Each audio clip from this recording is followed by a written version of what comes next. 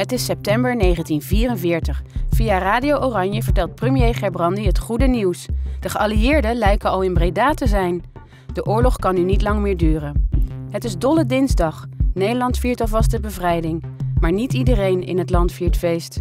Dus uh, het is toch heel verschrikkelijk geweest. En zover ik weet moeten er ongeveer 35 doden bij gevallen zijn. In deze video zie je hoe een trein vol vluchtende NSB'ers werd beschoten.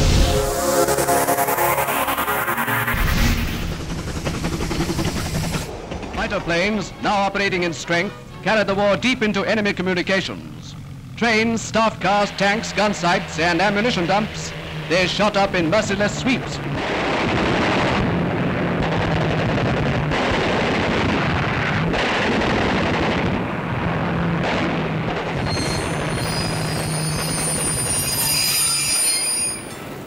Er werd uh, gesproken over we gaan op reis. En dat kan je als jongetje van acht uh, vond het reuze interessant.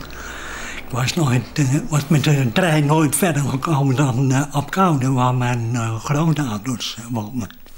We zouden naar Duitsland gaan, met vakantie. Een van de treinreizigers wil alleen onherkenbaar met ons praten. Dus er moesten spullen mee, kinderen, kleren mee en alles. En, hoe het mee moest. Er thuis een hele grote wasmand staan en uh, nou, daar ging alles in. We gingen met de tram naar het Centraal Station. Het was mooi weer, het was uh, september.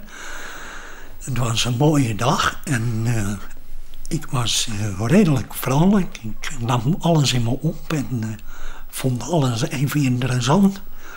En ik denk niet dat iemand anders in de trein zich zo gevoeld moet hebben. Want ja, ouders hebben andere ideeën en gedachten dan kinderen. En uh, ik zie me nog voor me, de, de, de, kan nagaan, later denken wat een haast ze hadden om weg te komen. Maar dan moest een mevrouw die moest naar het toilet in, die stond op perron zo. Als kind zijn vind je het heel raar dat de vrouw daar staat te plassen zo. Hè? Maar moeder zei, neem een grote stap eroverheen en we doken de trein in. Het was een, uh, dus een ouderwetse trein. Je had uh, twee deuren, de ene kant erin, de andere kant eruit. Hè? En dan met uh, links en rechts een verschrikkelijke bank. Zo'n harde zitbank. De trein vertrekt naar het voor de NSB'ers veilige Duitsland. En ik kijk zeer interessant naar het landschap dat voorbij schaft. En in mijn beleving, hè. Want die trein die zal zeker de eerste paar minuten niet vlug gereden hebben. Maar um, we waren denk ik misschien tien minuten onderweg. En toen stopte hij. Veel tijd om zich af te vragen waarom de trein stopt, hebben de inzittenden niet. Een ooggetuige hoort de vliegtuigen al aankomen. Waar de trein nu is, daar gebeurt het. Waar de trein nu is. Toen hoorde ik al schieten. En toen zei mijn vader, Iedereen de trein uit, tegen de dijk liggen en met je gezicht op de grond. Dat deden we. Ik uh, lag onder de bank met mijn broer en aan de andere kant uh, lag mijn zusje en die, uh, mijn jongste broer met de tweeën. En moeder en mijn broer die omgekomen is, die lag in het middenpad. Hè? En mijn moeder en, lag in het midden en de kinderen naast haar.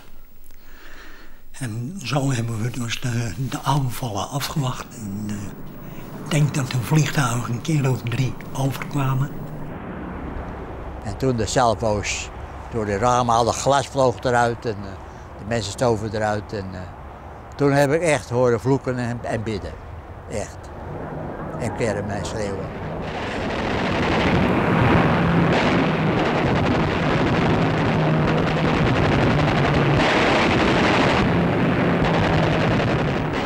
Ja, ik zag ze nog door de sloot springen. Dat die mensen waren gewoon in paniek, die, die, zagen niet een overweg, die, die, kwam door de riet heen en die vlogen, die wouden weg met de trein vandaan. Wouden zo ver mogelijk met de trein vandaan, die vlogen zo door de sloot heen. De vijand, kan je je niet voorstellen nu, maar ja, dat waren de, de Tommies, hè, de, de geallieerden, die hadden de trein beschoten. We haalden ze in hun hersens. Ja, wist ik veel. Toen die vliegtuigen over waren en uh, zag meteen de oudste broer gewond was. Ik zeg, god, Gerre, je, je bloed. bloed liep helemaal langs de benen heen.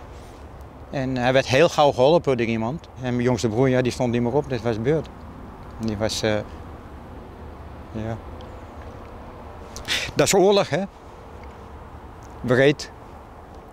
En uh, mijn moeder die, die, stond niet op. Dus dat betekende dat iets ergens gebeurd was. Maar ja, je besefte eigenlijk nog niet wat, hè. Dus, uh, en we hebben allerlei mensen aangeklampt om moeder uit de trein te halen. En dat is dan ook wel gelukt. Maar ja, voordat ze dus op bankaar lag en afgevoerd was, en, uh, dat duurt natuurlijk, dat gaat allemaal niet zo vlug. Hè? Langerak, geen fan van de NSB, schiet toch de hulp. En toen kwam die ploegbaas, die was er ook gelijk bij. Zei, jongen, we moeten die mensen uit de trein halen, want die, die smeult. Al die zitten smeulden. Dat we zijn gelijk het werk gegaan. Dat werden de verschillen uitgehaald. Nou, ik was natuurlijk uh, niet sympathiserend. Maar het deed mij niet aan uh, om de mensen niet te helpen. Je zegt zoveel narigheid, daar dacht ik op een moment niet aan. Al wist ik het. Het heeft me ook nooit kwalijk genomen. U, u dacht niet, het zijn maar NSB's? Nee, laat ze maar gaan. Laat ze maar verrotten. Nee, echt niet. Nee. nee, dat, uh, op zo'n moment dat doe je dat niet. Daar ben je mens voor. Hè?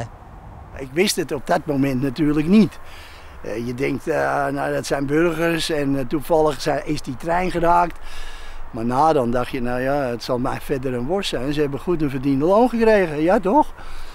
Naderhand ga je het wat nuanceren en denk je, ja, er waren toch ook misschien wel NSB'ers bij die niet zo vreselijk kwaad waren. Mijn moeder had uh, schotwonden in de arm, in de benen en in de longen. Dus.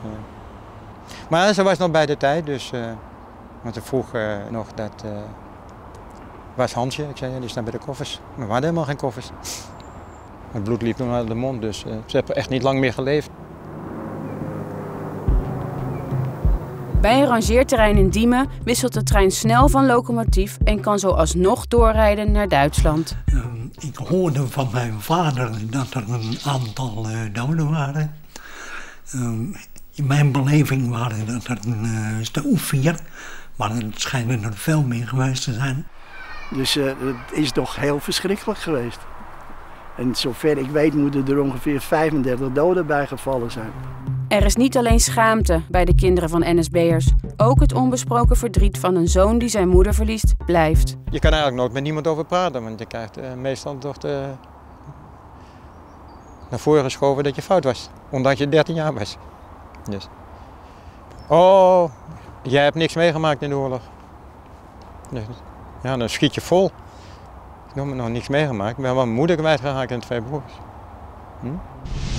Op de vlucht worden beschoten? Wat denk jij van deze kant van de oorlog? Laat het weten in de comments.